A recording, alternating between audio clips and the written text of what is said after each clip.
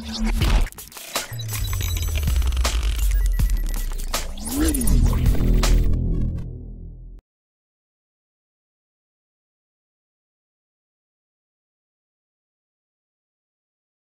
Friends sports பற்றின செய்திகளை உடனுக்குடனா தெரிஞ்சுக்கொள்ள நம்ம தமிழ் கிரிக்கெட் சேனலை சப்ஸ்கிரைப் பண்ணுங்க. இந்த உலகக்கோப்பை கிரிக்கெட் போட்டியில ஆப்கானிஸ்தான் கிரிக்கெட் அணியின் கேப்டனான குல்பதீன் நைப் நேற்று செய்தியாளர்களை சந்தித்து பேசிய போது என்ன சொன்னாங்க அப்படின்னா தற்போதைய கிரிக்கெட் உலகில் இந்த ஒரு அணி தான் ரொம்பவே வலுவான அணியா இருக்காங்க. அதே போல இந்த இரண்டாயிரத்தி பத்தொன்பதாம் ஆண்டில் இங்கிலாந்து நடக்கும் இந்த ஒரு நாள் போட்டிகளுக்கான உலகக்கோப்பையை இந்த அணி தான் கைப்பற்றும் அப்படின்னு ஒரு அணியை குறிப்பிட்டு பேசியிருக்காங்க. அது எந்த அணி அப்படின்றது பத்தின முழுமையான விவரத்தை பார்ப்போம்.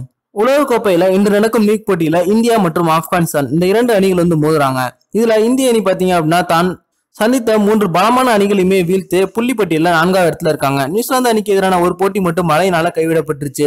ஆப்கானிஸ்தான் அணி தான் விளையாட எல்லா போட்டிகளிலுமே தோல்வியை தழுவியிருக்காங்க.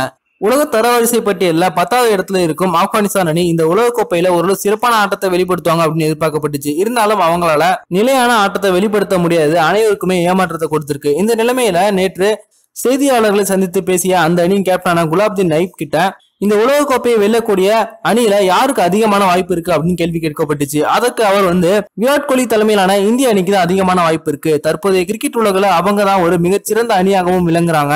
எந்த ஒரு காலநிலையா இருந்தாலும் அதற்கு ஏற்றது போல தங்களை மாற்றிக்கொண்டு சிறப்பான ஆட்டத்தை வெளிப்படுத்துறாங்க.